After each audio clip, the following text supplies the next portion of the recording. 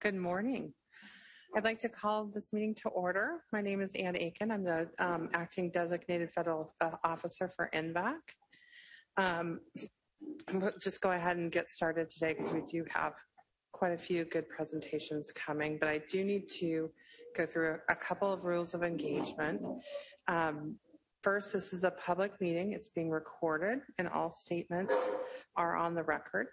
Second, this advisory council is governed by the Federal Advisory Committee Act, or FACA for short. FACA provides rules about the circumstances by which agencies or officers of the federal government can establish or control committees or groups like this one to obtain advice or recommendations. The voting members are special government employees and are therefore subject to conflict of interest laws and regulations, as are all members who work for the federal government. These members previously provided information about their personal, professional, and financial interests.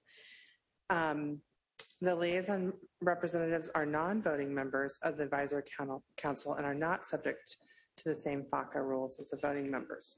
Additionally, the information provided at this meeting does not necessarily represent the official position of the National Vaccine Advisory Committee or the U.S. Department of Health and Human Services. Mention of products, processes, uh, services, manufacturers, companies, or trademark does not constitute endorsement by um, or recommendation by the U.S. government, HHS, or NVAC. So with that, I would like to proceed with um, roll call. Please respond verbally when I call your name. Robert Hopkins. Present. Melody Butler.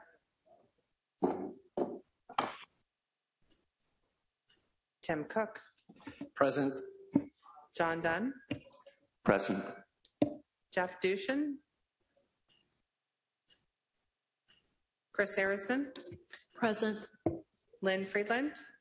Present. Good morning. David Fleming. Good morning. Present. Good morning. Dan Hoft. Molly Howell. Here. Good morning. Jewel Mullen. Present. Good morning. Stephen Rinderknecht. Hey, good morning. Present. Good morning. Rob Schechter. Present. Good morning. Good morning. Winona Stolzfus. Good morning. Present. Good morning. Bob Swanson. Present. Good morning. Uh, Devin Plott. Present. Sorry. Good morning. Good morning. Claire Hannan. Present. Good morning. Good morning. Rebecca Coyle. Present. Good morning. Uh, Jean Good. Here. Good morning. Good morning. Meredith Allen. Good morning. Present. Good morning. John Douglas. Uh, present. Good morning. Good morning. Carrie Robinson. Hannah Asa- oh, she's not here today. Uh, just, just not here today either. Uh, Christine Oshansky. Melinda Wharton. Present. Good morning. Mary Beth Hans. Present. Good morning. Bruce McClenathan. Good morning, ma'am. Good morning. Jay Slater. Present. Good morning. Mary Rubin. Good morning. Present. Good, good morning. Uzo Chukwuma. Good morning. Present. Good morning. Barbara Mullick. And Troy Knighton. Hi, Ann. I'm here. Good morning. Uh, so with that, I'm going to turn it over to Dr. Hopkins, our chair. Good morning. I want to thank all of you for, who have joined us in person and online for our June NVAC meeting. I want to once again thank you, Anne, for getting us started uh, and to the NVAC team for its work in planning this meeting and supporting the committee throughout the year. Also want to thank the NVAC members and subcommittee members for their dedication to further the work of this committee. Welcome to the second day of our first in-person meeting since the COVID-19 pandemic. And for those watching or participating online, I'd like to welcome you as well. I look forward to the presentations and discussion today and will provide my perspective on highlights from yesterday, as well as an overview of our agenda in a moment. Let's start with a few housekeeping items. In terms of housekeeping, I want to make sure that everyone's aware that this is a public meeting and it's being webcasted on the HHS website. For our virtual members, please mute yourself when not speaking, and please don't use your camera unless you're presenting, asking a question, or answering a question. If you'd like to speak, please either raise your hand or send me a chat through the online platform. For our in-person members, you can move your nameplate to stand on the short end to notify me when you'd like to speak. Please use the microphones when speaking so everyone can hear you. During the discussions, I ask that all members and speakers identify themselves before speaking if I didn't acknowledge you by name and giving you the floor.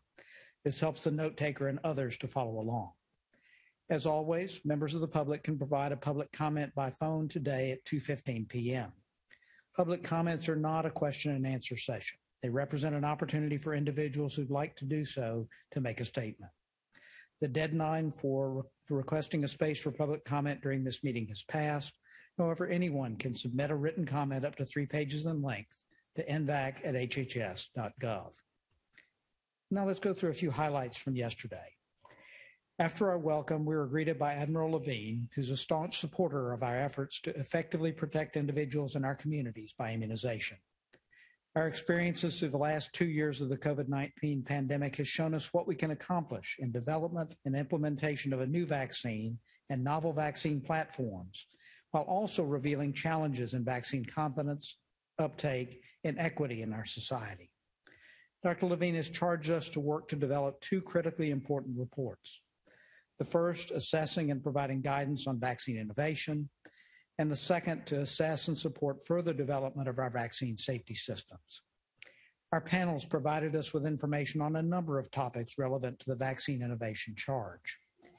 Innovations in immunity to address the needs of subgroups and comments on prioritization. Innovations to support personalized immunization of individuals with the promise of genomics to help target the best and the safest vaccine to best support individual health. We heard presentations on four developmental vaccines for poverty associated diseases. And finally, panelists discussed the complexity and lessons in the pursuit of an HIV vaccine, new adult hepatitis B immunization recommendations, and injection free inoculations, as well as the investigation of severe hepatitis in children. Finally, John Dunn up, uh, updated us on the current recommendation statements from the Vaccine Confidence Subcommittee, and we'll be looking forward to continuing to work through uh, that report. For some brief highlights for today, we'll start our day with a panel on easing cold chain considerations. After a short break, we'll hear from experts on COVID 19 vaccine safety, the monkeypox vaccine, and improving it representation in clinical trials. After lunch, we'll receive updates from federal agencies and liaison representatives. We'll conclude with another opportunity for public comment. Finally, as a reminder, please hold the next meeting date on your calendars. Our next meeting will be September 22nd to 23rd, 2022. And please refer to the NVAC website for the final details on upcoming meetings. At this time, I'd like to start our first panel of the day. Our first panel is easing cold chain considerations. As immunization programs expand, the role of the supply chain to ensure vaccines are available when and where they're needed has become an even more critical issue. This session will explore some innovations to improve the cold chain distribution. Our first speaker will be Julie Swann from North Carolina State University, speaking on the process of distributing cold chain vaccines more effective, efficient, and equitable. She'll be followed by Anna Nagurney from the University of Massachusetts Amherst on innovations in infrastructure, and will be followed by Joanie Robertson from PATH, speaking of vaccine vial monitors and freeze prevention carriers. Uh, Dr. Swann, uh, are you on the line? Yes, I am. Can you hear me? Your slides are up. You're loud and clear. You have the floor. Thank you so much. I am delighted to uh, be able to speak with you today. I wish I could be in person, but um, we will go this way. Uh, and as mentioned, I'm going to be talking about efficiency, effectiveness, and equity related to distribution of vaccines. Next slide, please. Let me start with an overview of a supply chain in general. This year, we know more about supply chains than ever before, unfortunately, because of shortages and other kinds of things. They govern our lives on many different products when we look at the supply chain overall, it's an interconnected system. You often have decision makers who have autonomy, who are making their own decisions, and we have systems that help us manage product flow, information flow, movement of people, money, other kinds of things. A typical goal for a supply chain would be to deliver the right product at the right place, at the right time, to the right customer at the right right cost. And sometimes, of course, there are modifications of that uh, in a public health system. In a public health uh, supply chain. You have a number of other entities that come in, including your health departments, pharmacies, uh, doctors' offices, hospitals, places of employment, and many different groups that may represent our demand in this system. I'm going to talk a little bit about efficiency, effectiveness, and equity, and I thought it would be useful to define what I mean by those. So, uh, next slide, please. And then the next slide after that. Thank you. Um, efficiency, what I mean is that the supply chain is operating quickly or economically. So we often look at measures like speed and cost. For effectiveness, we're interested in whether we're doing the right things in our supply chain. So outcomes might relate to the percentage of people covered, the safety, uh, even health outcomes themselves, preventions of cases, hospitalizations, or deaths. Equity can mean many different things. Here, I'm going to use the definition where we use resources to meet differing needs in the population. The picture on the right is an illustration of Robert Wood Johnson Foundation. Um, but what we also mean is that some people are at greater risk of hospitalization or death or greater risk of exposure, and that this is taken into account along with thinking about the population as a whole, either geographically, race, ethnicity other kinds of measures. There are often trade offs between any of these three measures or even others across our system. So we may not always be able to be uh, the highest efficiency and the highest effectiveness, and we have to make decisions on which things are more important for a given event or product. Um, and let's go to the next slide, please. Equity is particularly important when you take into account people have differing health conditions, which may put them at greater risk for severe outcomes. And of course, they may also be in jobs where they may have greater exposure, such as if they are frontline workers um, versus ones who may be able to telecommute. This is a picture of diabetes prevalence across the United States by county, and you can see just as one measure that there are also geographical differences in uh, uh, health conditions across the population. What you can also have is that when vaccine hesitancy comes in, different kinds of populations may have different reasons for hesitancy, and that combined with reduced access to vaccine or providers can mean that issues related to equity can be compounded across a network. In addition, because the reasons for hesitancy are wrong, we may need different solutions to personalize those for different subpopulations. Next slide, please. This is a picture of vaccine outcomes related to H1N1 for the pandemic. Uh, please click twice. Um, we did some studies and looked at what factors, particularly factors across the supply chain, were related to higher coverage, especially during the time period when states had limited supply of vaccines. So we found a number of things, including if there was a shorter lead time from when you were allocated vaccine to when that vaccine was shipped out the door. And there are a lot of things that are going on in that in that back end. But if that lead time is shorter, then it was associated with higher vaccine coverage. We also found that states that sent vaccine to locations with broad access, like pharmacies or clinics, had higher uh, uptake. And if they waited a little bit longer to open up vaccine to new eligibility groups uh, for the prioritization that was done during that campaign. In other studies, we also found that the system can benefit from visibility across the supply chain, which we often have in a lot of industrial, uh, commercial supply chains, but which, which is more difficult in the public health system, but that you can allocate um, in ways that can improve your effectiveness and your equity. Next slide, please and click uh, three times, please. If you look at the supply chain system in early 2021, um, there were a number of challenges early on, uh, especially when thinking about trying to uh, meet the national objectives that had been set out both by the NASEM group and by uh, the various plans in place. And many of these are problems that I would consider to be classic across supply systems, where you may have demand uncertainty, supply variability, difficulty in forecasting, poor information visibility, decentralized decision making, competition, uh, speed, inventory, a number of different things. What we also know is that there are strategies and innovations that can help these supply systems operate more effectively. So certainly looking at stable supply, increased supply, which did happen over time in 2021, having good data systems and good technology and infrastructure, having information sharing in place, centralizing information so that it's not only out in different pockets, um, and a number of other things, including a portfolio of products, in this case, vaccines and needles that can meet different needs.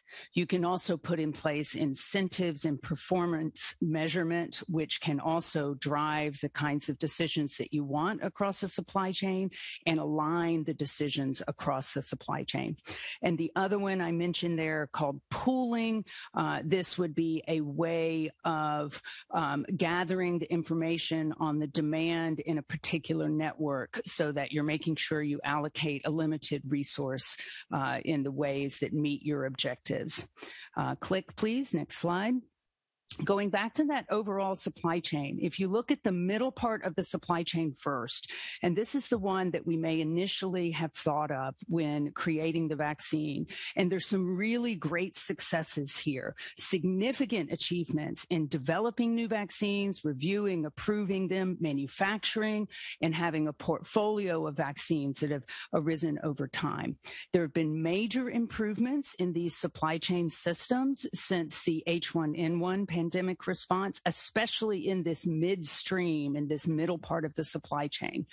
There are successes in data systems, timing of actions, reducing lead times, and even the cold chain infrastructure itself, especially related to storing at ultra low cold temperatures for the vaccines uh, we've been using this year. Next slide, please. Now let's go back up the supply chain a little bit and look at uh, what we would call the upstream part, where we are thinking thinking about the raw materials, the supplier of components. We certainly have seen that there have been some challenges in these, especially as you think about ramping up a system um, for products that were largely lab and research based previously to ramping them up to millions and billions of doses. And I would say that we continue to have challenges across the upstream of our supply chain, not only for vaccines, but for many other other products. And in fact, we have many supply chains that are vulnerable, um, supply chains that provide us with critical medical products that are vulnerable, also ones that provide consumer goods and, and food items that are vulnerable. And some of these products really are critical uh, innovations that can help address this. One is to have better visibility of the potential problems. Uh, we don't really, across um, all of the different entities involved in these supply chain systems, have a good sense of what the capacity is uh, for each of these items and where the bottlenecks or gaps are that we need to address. And we want to design our supply chain systems so that they are robust and resilient to disruptions and can bounce back back. And right now, um, there need to be continued innovations in this space. Next slide, please. On the right hand side of this supply chain is the downstream after the manufacturing of the vaccine and really what we sometimes call the last mile. So it's left a distribution center and goes on a truck and then may go to many different places, sometimes to a warehouse within a state, more often to specific providers, hospital locations, pharmacies, clinics, employers, all of these different uh, locations. Many supply chains have a difficult last mile, especially in emergencies. And there are many aspects of it that are difficult, and certainly including the ultra low supply chains, uh, the sizes of the shipments in some cases. We there have also been a number of successes in this space and a lot of improvements and innovations made, especially since the H1N1 pandemic. Next slide, please some of those successes, the uh, prioritization strategy that was laid out in July of 2020, the speed and timing and coordination of decision making, and really having that standardization was an innovation that was important both for the cold chain and wastage, as well as for the overall efficiency and effectiveness. The utilization of pharmacies and large hospital providers uh, that could run uh, big mass clinics uh, was important. The cold chain infrastructure that was added, especially in distribution centers and in transport, was really important. And we do have now more cold chain in place, ultra low cold chain in place than was there before. Uh, some uh, public private partnerships uh, that are working, some data systems have improvement. Click, please. There continue to be some opportunities, and I would include data systems in that as well and data sharing. And there are many examples where our data could be improved and we can make decisions in ways that improve efficiency, effectiveness, or equity. The ultra low cold chain does put additional requirements that make it difficult to uh, distribute vaccines safe to, safely and effectively, both in the United States and worldwide. Um, certainly, there's a trade off here between the speed of development, and, and that was also crucial. What we have seen is that a portfolio of vaccines uh, with different cold chain requirements can be really important. I mentioned shipment sizes, shifting roles and responsibilities. There was a change in prioritization midway through the process. Uh, that did, we have studied that and found that um, the uh, that did lead to some differences in equity. There were also some challenges and continue uh, to be challenges with respect to thinking about allocating a limited supply when you have priority groups.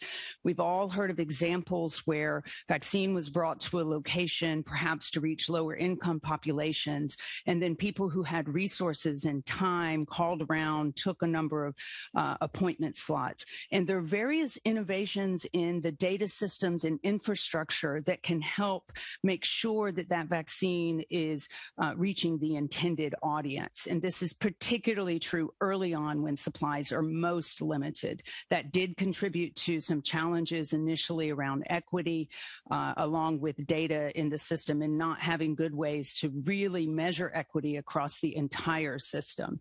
Uh, I think there continue to be opportunities for public, private, and academic partnerships bringing in folks who have supply chain expertise, data systems, information infrastructure, and other types of um, uh, innovations. And then uh, trust in the system and the role of information, misinformation, and disinformation, I think will continue to be important, not only for these products, but also on many going forward. And we really need to rethink what we're doing with respect to information.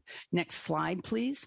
In terms of reducing inequities, um, we have studied and found that prioritization during this pandemic of frontline workers can reduce the inequities and still have good performance in terms of mortality and morbidity for the overall population.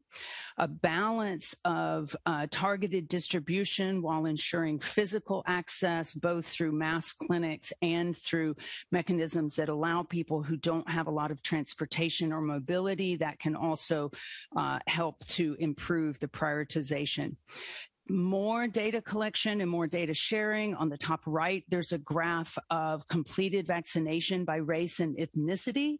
It's incomplete because not all states are tracking that information. And right now, publicly, there is not information on what that looks like for, say, the population 65 and over or for working age adults. And there are many cases where when you put measures in place across a supply chain or another kind of system, then it can drive behaviors. So that's another reason that these data systems and data requirements are really important. There have been a number of innovations on decision support and visualization. On the bottom right are some colleagues of mine at Georgia Tech that developed a dashboard to uh, to promote and visualize equity uh, with respect to race ethnicity for the departments of public health in Georgia. Uh, and as I mentioned before, the portfolio of vaccines that have differences both across the cold chain and other aspects. Next slide, please. So one other, um, I think, really important question is, uh, given all of these things that we've seen and learned, are we ready now? Uh, have we learned and really internalized that and made decisions differently? And so I, I pose the following scenario. Suppose that, uh, let's say in the fall, we have a new variant with high mortality and we need a completely new vaccine that is in limited supply initially. Or it could even be a different disease, whether that's uh, monkeypox or a different one.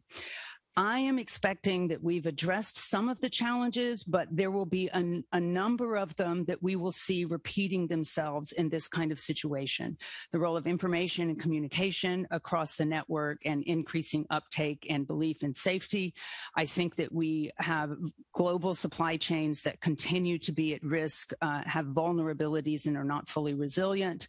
Um, I think that we would find that in that time period, that initial time period with very limited resources and excess demand, that we would have a lot of challenges that would manifest at that last mile area. And there are uh, innovations that we could put in place with respect to data and information systems that would help, um, uh, especially related to prioritization and ensuring that we're meeting our goals with respect to equity across the system. I think that we do need continued advancements in data systems and data sharing, and that that would also be evident from a scenarios such as the one that I mentioned. And a final aspect, if you look at all of the different advisory committees that perform these really important functions, I think that they um, they could additionally benefit from supply chain experts who really think about supply chain systems, not only for their given entity, um, but really across the entire system to help improve innovation and uh, operations for the future. Click, please. Uh, and, you know, there are a number of different areas where, where these relate uh, and where investments and continued work uh, is needed. Next slide, please. That is the end of my slides, uh, and I will turn it back over to the chair to determine uh, next steps.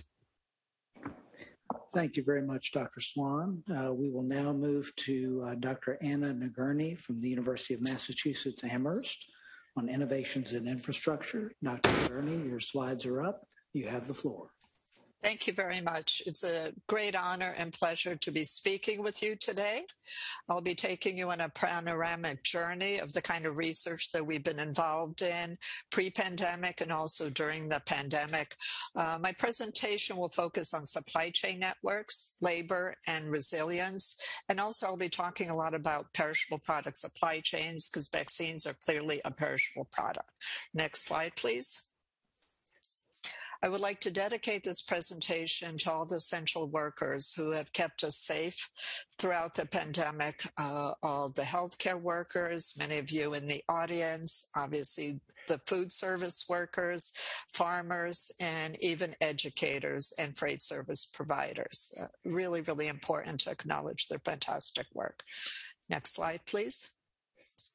I work on the modeling of network systems, and I've seen that networks have been actually a theme for the past two days. Uh, I work on interaction of different types of decision makers and users of network systems. And I work on predicting what are the flows, what are the profits, what are the costs, who might win and who might lose. Now, uh, some of these systems are very, very complex. For example, congested urban transportation networks, the internet, various social networks, which we've been hearing a lot about, and also supply chains, which is the major topic of what I'll be discussing today. Next slide, please. So much of my research has focused on supply chains. Supply chains we've seen and heard about have been disrupted in a major way in the pandemic. And now, even with the war against Ukraine, they continue to be disrupted. So, understanding them and their behavior and how to make them more resilient is absolutely critical. And uh, the approaches that we use are we use operations research, we use network theory, and obviously data science and algorithm development. And once you have developed these rigorous methodological tools, it's fabulous because you can do all sorts of sensitivity analysis, scenario analyses, and so on. Next slide, please. So I believe in writing books. Uh, not only do I do a lot of research on supply chain networks, but one of my areas of expertise is disaster management. And clearly the COVID pandemic is a healthcare disaster of global proportions you'll see that most of my books do have a network theme, and uh, this is something I really, really care about. Next slide, please. And the approach that we take to studying perishable product supply chains is multidisciplinary in nature. That's extremely important. Okay. I tell my students, you need the chemistry, you need the physics, you need so many different subjects that you're learning or have learned about to do accurate modeling. So, for example, in terms of perishable product supply chains, we've done a lot of work on blood, and actually our work on blood supply chains and our writings influence national policy, which we're very very proud of. Done work on medical nuclear supply chains, another very stressed kind of supply chains, and also work on uh, many different kinds of pharmaceuticals and vaccines, which are perishable. Next slide, please. Now, if you use a network approach, I think it's very, very powerful because it's graphical. And many decision makers, policy makers, they respond to visualization. So, for example, in our work for the American Red Cross, you can see the different tiers associated with the supply chain, you know, from the donations to the testing, the storage, uh, the last mile distribution, and actual final use. At the same time, you can can see in terms of medical nucleotides, you know, used for cardiac diagnostics and also for cancer diagnostics, the different kinds of tiers that are involved. And associated with the links, we'll have different kinds of costs. We will have perishability. There might be risk. There might be time elements and so on. So we typically use tools of optimization very, very powerful. And also, as we're hearing throughout here, you know, there is competition. Throughout the pandemic, we've seen, you know, vividly the competition competition for PPEs, competition for vaccines, competition for workers. So it's very important to use the proper methodologies. We also use game theory.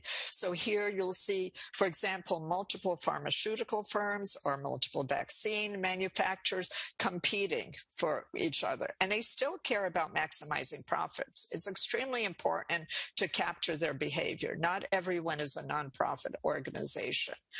Okay, so we're interested in figuring out what will be the deliveries of the supplies, what will be the costs, what will be the prices. Okay, what if we have different capacities? What if we have limitations? What if there's risk? What if there's some disruption to the infrastructure, which we're seeing increasingly now with climate change and uh, the escalating number of all sorts of storms and other kinds of disasters? Next slide, please. So something else that is really important, and when we talk about perishability and the cold chain, including the ultra cold chain, we care about preserving quality of the vaccines that's imperative. Whether we're dealing with food, right, with pharmaceuticals, with vaccines, you have to preserve quality. So, a book that I wrote uh, with a former PhD student of mine, Dong Michelle Li, talks about competing on supply chain quality. And we've seen all sorts of instances of quality failures in the pandemic, including in terms of vaccine manufacturing. And this is something I know you're well aware of, but I think it's very impor- important to emphasize that, that quality has to be preserved. It's a matter of trust also of the population, of those who will be getting the vaccines. Uh, we need to make sure that we can maintain the cold chain throughout the pathways, you know, from the manufacturing sites to the eligible distribution sites, and do that not only regionally, nationally, but also extremely important globally. Next slide, please. So you see, when we have different kinds of supply chains for different kinds of vaccines, different kinds of pharmaceutical products, uh, we abstract them as networks. And you can see then the similarities or differences across different kinds of topologies. And when it comes to modeling quality, you have minimum quality standards, and that's really important to preserve. You might also have information asymmetry that sometimes happens with manufacturers, right? You might not have all the information. Uh, you want to make sure that the quality is preserved also in terms of transportation Now, some of these vaccines travel very, very far. Uh, the different components also in the processing steps, there were many, many miles between the different kinds of steps. So it's really, really important to preserve the quality because we are living in a supply chain network economy. Okay. I have to emphasize that. And also, when you look at the different kinds of topologies, what we're interested in identifying what are the most important nodes and links? Obviously those are the ones that you should be investing in and protecting. We can't just have a single manufacturing plant now. If that goes down, everything goes, you know, uh, belly up. And that's something really, really important.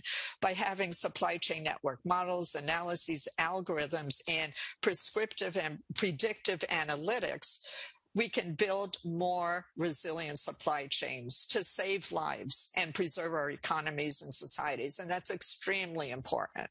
Next slide, please. So here we've been hearing about all sorts of fabulous innovations, right? And we expect to see more when it comes to vaccine production, dissemination, and ultimately injection. But no matter what happens, we're going to need different components for vaccine manufacturing. Okay. And this is something that we've seen throughout the pandemic. You know, uh, we are going to need probably some sorts of injectables, right? You need the vials, you need the inputs in the, into the production process and so forth. So we need to be able to trace out and map where these different supplies, you know, all the necessary resources are coming from. You know, do we have any in, you know, maybe politically sensitive locations around the world that we're seeing. We're dealing with heightened geopolitical risk. It's extremely important as a nation to make sure that we can guarantee the supplies that we need, that we have, you know, enough redundancy, we have enough uh, supplies, you know, we can deal with the capacities and so on. Next slide, please. So something I've been completely obsessed with, and I'm writing a book on now, is labor and supply chain networks. We've done all sorts of, you know, wonderful engineering innovations, technological innovations, modeling innovations, and so on. But really, it's all about people. Without people, we have no R&D, we have no manufacturing of vaccines or essential critical products. We have no transportation we have no storage, we have no delivery. So it's critical that we include labor as a very, very important resource in all of our supply chain models. And that's something we've been heavily involved in throughout the pandemic. Next slide, please. So we published a series of papers, and as I mentioned, I'm now doing a book on it uh, to identify both in optimization and game theory uh, frameworks the impacts of disruptions to labor. And that has to do not only with supply, but also with productivity. We've seen that if workers work too long, they get too tired, right? We see if they don't have, you know, uh, safety feelings in their environment, they're not going to be as productive. So it's extremely important to include those kinds of parameters and then to identify where should the investments be so that the laborers continue to be productive where should we invest so that we have sufficient labor resources to do the production, the transportation, the storage, the final mile distribution, and so on? Next slide, please. So here we did a model where you had optimization, and this was focused on another perishable product, actually PPEs. And the firm is interested in optimizing. Okay, so you're interested in minimizing costs. You're also minimizing, uh, you're maximizing profits, and you have different kinds of constraints of labor associated with the links. And we actually dealt with three different kinds of constraints, and this is something really, really important. And we've seen in the pandemic, maybe you might be able to reallocate labor resources to different kinds of tasks with some training or uh, maybe even with minimal training because labor is so valued now. So what does that do? What does that do to the availability of these important products? What does it do to the prices and so on? Are the demand markets well served or not? Okay, next slide, please. And also, we considered game theory, okay, to see uh, what happens if you have competition for labor resources and also for different kinds of demand markets. So, for example, a firm might have bounds of labor associated with production links, transportation links, storage, and ultimate last mile distribution. Or, say, you had a labor constraint associated with production, and the firms are competing right? Because, you know, high tech is so important now. Expertise in vaccine manufacturing is so important and firms need those labors or what if you had a certain volume of labor available in the supply chain network economy and they could reallocate who would win, who would lose, what would be the profits, would the consumers be served in a good way or not? Next slide, please. Okay, so what are some of our findings? And this is really, really important. A lack of labor on a single supply chain link, even in a freight service one, okay, can have major negative impacts on supply chain network product flows and prices. And we've seen the congestion in the ports. We've seen shortages of truckers and so on. And this is really, really important. Supply chain networks, they're systems they're not just two node, one link networks. Okay. They're complex. Okay. So really important to have that graphical kind of representation. Also having appropriate healthcare pandemic mitigation processes and procedures in place is essential to continuing operations. With even one manufacturing plant closed, we're seeing that in terms of baby infant formula now. The prices can rise at the demand markets and you will not have the availability that you need. Okay. Also, reduction in labor availability can result in a significant increase in product prices at the consumer level. Again, stressing the importance of preserving our workers' health and well-being. And even in the case of reduced labor availability, however, having alternative distribution channels can be extremely helpful. Okay. Finally, having the flexibility of you know, labor being reallocated to different tasks across the supply chain network uh, can enhance profits and also the availability of important products for consumers. Next supply chain. Next uh, slide, please. So, uh, how can we make things better or stronger? How can we uh, analyze the performance of our supply chain networks? Uh, a couple of years ago, I wrote a book that I co-authored with Patrick Qiang, which is kind of prescient, fragile networks, identifying uh, vulnerabilities and synergies in an uncertain world. So here, we're really interested in figuring out which are the most important nodes and links. What if one supplier goes down? Which is the most important supplier? Do you have an alternative? How will it impact the supply chain network economy? Okay, and it's really important because supply chains, you can have different kinds of tiers. Okay, so you might not even be aware of how important a particular supplier is to your vaccine production, for example, until something goes wrong. You have to prepare. You have to do these kinds of analytics. It's imperative. Okay, so, and then uh, that was focused the book uh, primarily on critical infrastructure, and now we've gone and extended the work to include labor.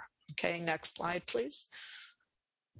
So, in a paper that was just actually made available and fully published this morning, uh, we present measures for the resilience of supply chain networks to labor disruptions. And that has to do with disruptions in labor availability and also in terms of labor productivity. So you can then figure out where the investment should take place to maintain the efficiency and the performance of your supply chain network. So we've done it in an optimization framework, then extended it to the case of a game theory framework, and that's a chapter in a forthcoming book on defense critical supply chains. And clearly, vaccines and pharmaceuticals are defense critical supply chain products. Next slide, please. So uh, the supply chain network efficiency measures for networks with labor and associated bounds uh, are, you know, we construct them and we've associated resilience measures that identify then the impacts with respect to disruptions of labor availability and productivity disruptions. And what we're finding is that if we can have free movement of labor across the supply chain network, we get higher efficiency Okay, so we need that kind of agility and flexibility for these critical products, which vaccines are, as well as a higher resilience. Okay. Also, a reduction in labor productivity can impact the supply chain network efficiency and the corresponding resilience. So we must be investing in the health care okay, and the productivity of our workers. That's essential. You know, it's all about people. Okay, we have to be supporting each other. We have to take care of our workers and one another, and also a uh, so the reduction in productivity can affect uh, resilience in a very negative way, as well as um, the availability. And uh, interestingly enough, we found that the presence of electrical commerce escalates the efficiency of supply chain network, but diminishes its resilience, which I thought was kind of, you know, interesting finding. Next slide, please. So I'd like to thank you for listening. I posted this presentation on the Virtual Center for Supernetworks website, where we have a lot of materials, a lot of our articles, lectures, podcasts, interviews with the media, and so on. And I thank you all for your great work, and I'm deeply honored to be included today and speaking to you. Thank you. Thank you, Dr. Nagurney. Our next presenter in this panel is Joanie Robertson from PATH. She's going to speak on vaccine vial monitors and free, freeze prevention carriers. Your slides are up. You have the floor. Thank you so much. it's great to be here in person. And I want to appreciate um, Drs. Swann and Nagurney for their great presentations. And I think this builds well on that. Um, I know that there are some on this committee who are very familiar with PATH. Um, it seems Seattle is well represented here. Um, but just for some who are not familiar, um, we are an organization with more than 40 years of experience working in global health. And our work has always been focused on increasing equity um, in access to health with a global lens and working particularly in low and middle income countries. We focus on tech technologies primarily, and currently our work spans the areas of product development, health system strengthening, vaccine development, health information systems development and implementation, epidemic preparedness, and importantly, advocacy and communications, which is crucial for building the policy and market environments needed for PATH's work to thrive. We're headquartered in Seattle, Washington, and we're home to more than 1,500 employees worldwide who work across about 30 different offices around the globe. And our projects touch more than 70 countries. Currently, about 58% of our staff are located outside of the US, and a vast majority of us are nationals in the countries where we work.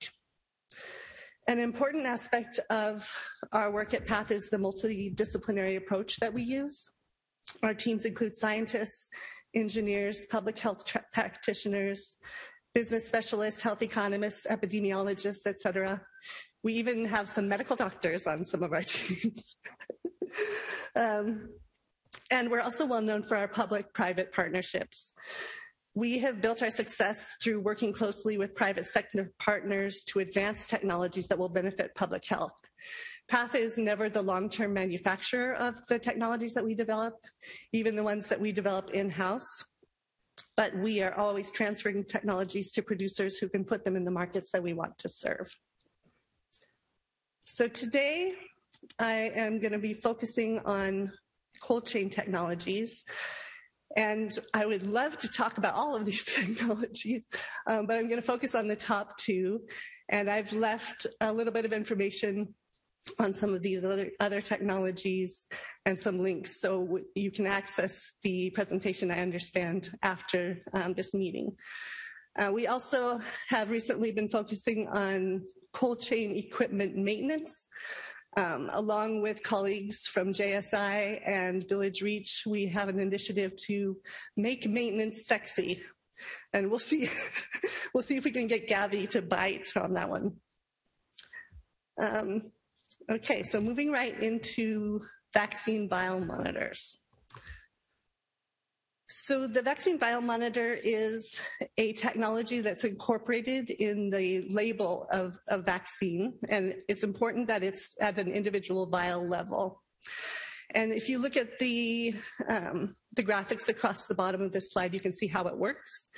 There's a white square, and at the beginning, at the beginning, it starts with a white square and a purple circle. And as the vaccine or the vial is exposed to heat over time, that square gradually changes color until it matches the background color, at which point that means that that vial has been exposed to the limit of heat that it can handle. And then it the square will continue to darken, but basically the discard point is there when you have a match in those colors. Um, let's go on to the next. This is the timeline for the work that PATH has done with the Temptime VVM. And a few things to note here. One is the long time that it takes to develop technologies. And until the COVID vaccine came along, uh, we always are expecting 10 to 20 year timelines for technologies that we're working on at PATH. So you see that we started in the early 1980s having conversations with an organization or a company that had a time temperature indicator that they were using for food product. Um, we were interested in its application to vaccines. Um, Temptime was spun out of that company. And then we worked together, PATH and Temptime um, did some field evaluations in the 1990s with uh, oral polio vaccine. And to prove the concept, um, WHO and UNICEF came on board and said that this technology should be used for all oral polio vaccines. Um, polio, that vaccine is one of the most heat labile vaccines in the low and middle income um, childhood vaccine portfolio. Uh, finally, Gavi came on board and said that this, um, this technology should be used with all of the vaccines that they support. Um, and FDA approval also in the mid 2000s. So you can see it's sort of a long process and it involved not only the technology itself, but proving the technology in um, its context of use and then getting policy um, leaders on board to um, to advocate for this technology as well. Um, an important point about the VVM is that it is still currently a um, sole source. Temptime is the only company in the world that's producing this technology at this time.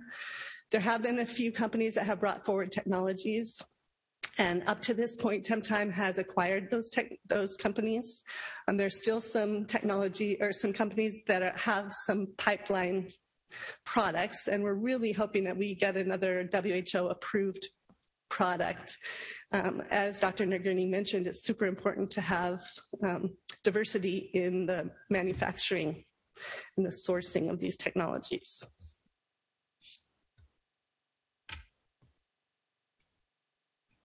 And we've currently um, passed the 10 billion mark for VVMs. So over 10 billion VVMs have been supplied to manufacturers for inclusion on vaccine vials.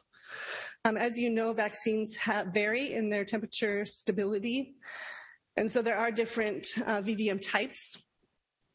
Um, they all are basically following the Arrhenius equation. So you have um, a mathematical explanation for how reaction rates occur um, in temperature and time. And then, so you can scale up or down the rate on those curves. And we started with the VVM2, which is used for OPV. For a long time, we just had 2, 7, 14, and 30. But as you can see, when new vaccines come online that don't match, um, it is possible to generate new VVMs to match the thermostability of the vaccines.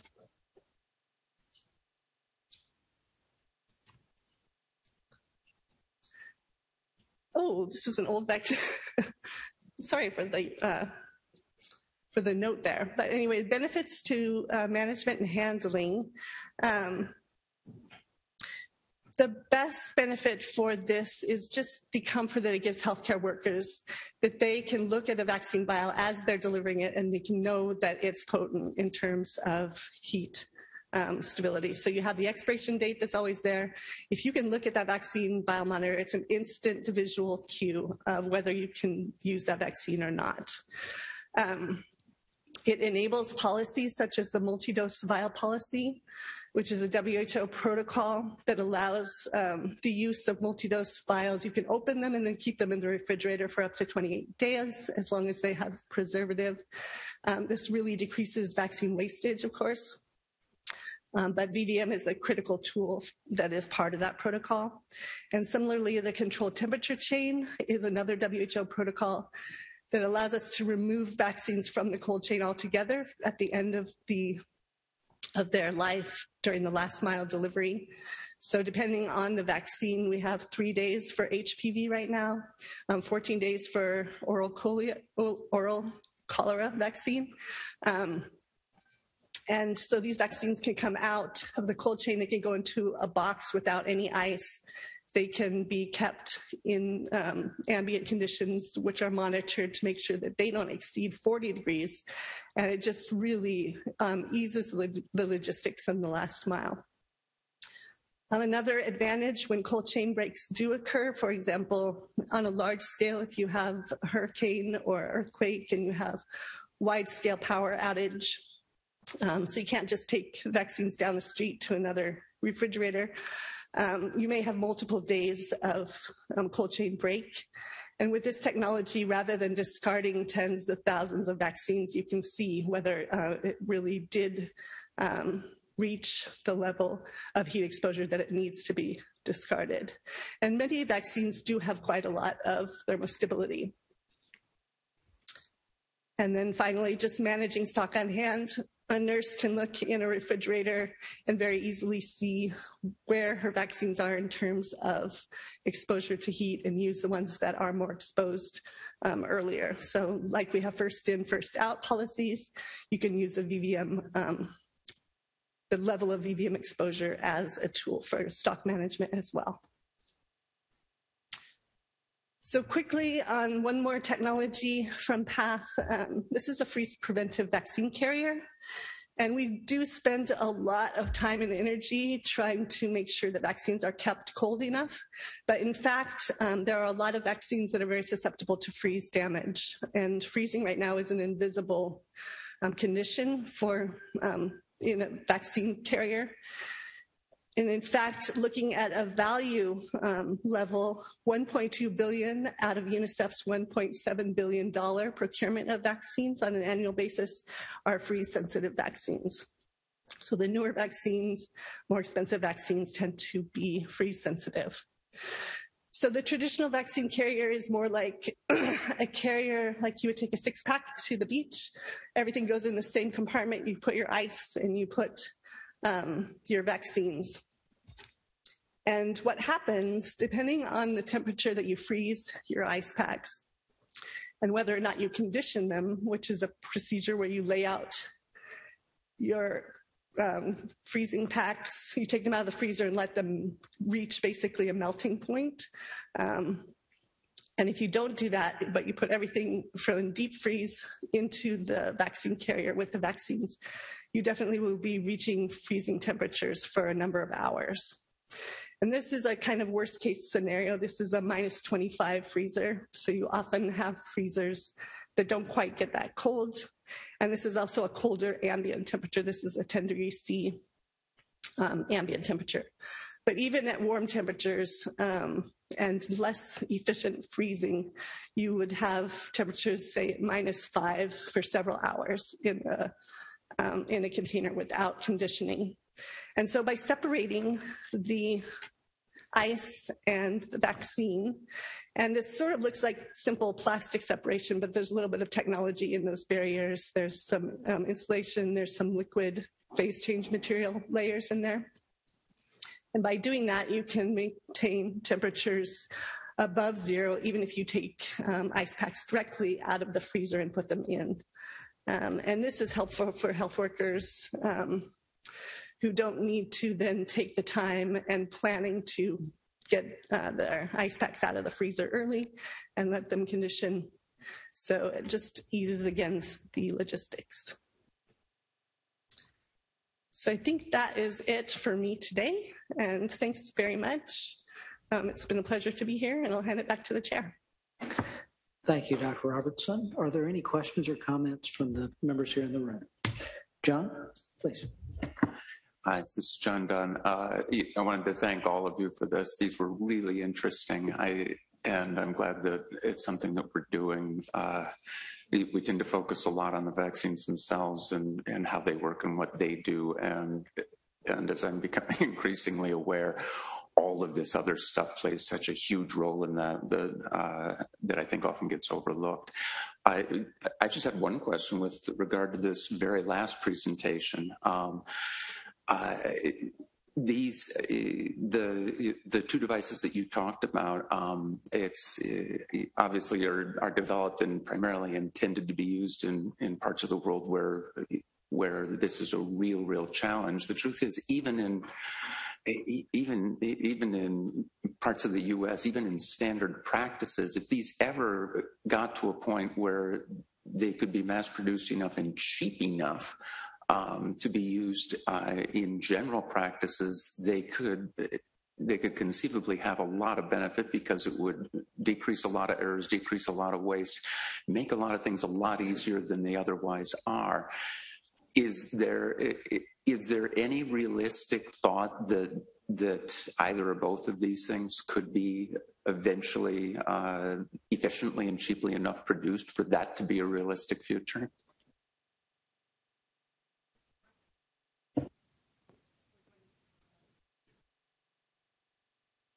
You hear me? There. Okay. Um, so the quick answer is yes. And actually, the you know Path really is focusing on low cost technologies because our market is low and middle income countries. The vaccine biomonitor um, is purchased by the vaccine manufacturer. And so, of course, the cost comes then in purchasing the vaccine. And it requires the buyers really to demand that technology. So by UNICEF saying we won't buy this vaccine for our for Gavi funded vaccine unless it has a VVM that drove that's what drove the VVM production. And I'm sorry I don't have the cost per unit on that, but it's not huge. And I think that Canada, I'm not sure if Canada has done it, but they certainly were um, advanced in discussions about um, requiring the VVM as well. So it's something that US Department of Health and Human Services could perhaps do. And then again, the vaccine carrier is um, a product. I think in Dr. Nagurney's slide, she showed that slide that had the um, the source or the location of the different products, and she listed some European um, sources for vaccine carriers. But the vaccine carriers used in Gavi supported and low and middle income countries are not coming from Germany, they're coming from China and India. And I think that the vaccine carriers, probably the freeze free vaccine carrier produced by Indian and Chinese manufacturers that Path works with is, you know, might be less expensive than what's being used in the U.S. right now. Um, so, great. Thank you very much. And our last uh, question or comment is from Tim Cook. I, I had a question probably most directly related to Dr. Swann's talk, but I just wondered about a thought experiment where instead of the mRNA, mRNA COVID vaccines being requiring really low temperature storage, if they were just normal, like two to eight degrees, do what, what do you think the uptake would have looked like in ter- let, let's just say in the U.S. because it would be very different in different parts of the world. But you know, in the U.S., do you think the coverage rates would have been different or would they have been less equitable or, or, did we just deal with it and, and there were so many other factors they probably look pretty much the same so I do conjecture that there still would have been questions about a vaccine for a novel virus. Um, for the H1N1 pandemic uh, vaccine, it was traditional egg based manufacturing in 2009. We make influenza vaccines every year, so there was not much different with that one on a number of different, um, for a number of different reasons. I do think that we would have seen some uh, vaccine hesitancy, but not as much. Um, and I think that it could also have been different different for different subpopulations because there are different concerns, whether it's questions that people have had about fertility in women or about whether there is tracking in the devices, you know, just lots and lots of different things that are that are out there that are not true. Um, it could have um, had higher uptake both here in the United States and in some other countries you think based on the, I'm, I mean, really based on the temperature storage alone, I mean, everything else being equal, do you think that would have made a difference? So the temperature storage alone, um, it certainly could be challenging, particularly for rural areas or for places, even within cities, um, urban deserts where they didn't have a large pharmacy chain, a large uh, hospital provider, a large um, uh, a Publix, as we know in some. So it could have been higher, particularly timing wise, could have been higher January, February, March, because I think what eventually happened is that many state and local health departments, along with their partners, found ways to reach those communities using mobile vans, mobile nurses, other types of things, but it took them longer to get there. And so um, having, you know, and, and, even Moderna had lower cold chain uh, requirements than Pfizer did and could last longer. Um, and, and so once Moderna was available, that helped some. Um, so I do think that could have helped to reach some of those populations, but it also has to be really intentional. And, and it was intentional on a number of fronts around the country, but really has to be intentional and address the various kinds of reasons for low uptake. And, and access is one of those. That cold chain contributes to that, but there are others as well. Mm-hmm. Okay, thank you. Can I just add a couple thoughts on that? I think even if access is the same, there's a cost involved in keeping things at ultra low.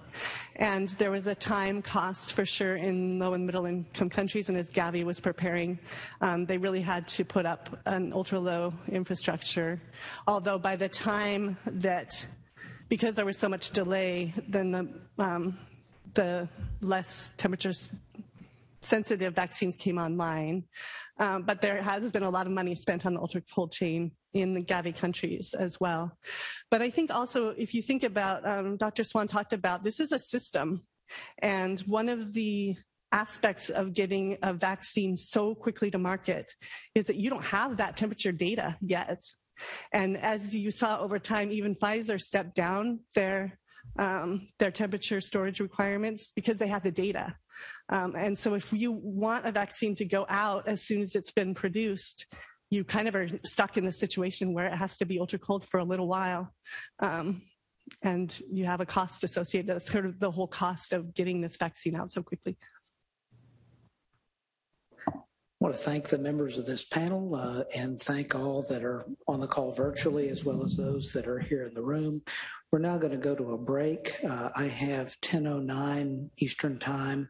Uh, we will re- reconvene at 10:15 uh, for our next panel, COVID-19 vaccine safety review. Thank you for joining us for our June NVAC meeting.